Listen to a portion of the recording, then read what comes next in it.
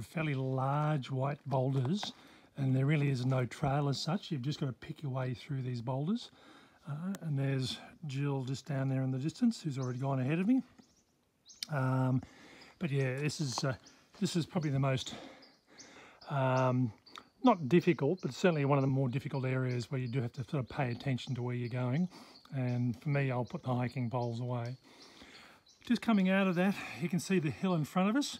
And at some stage there, we're going to be making our way back up that hill, up to the top of the, uh, the plateau again.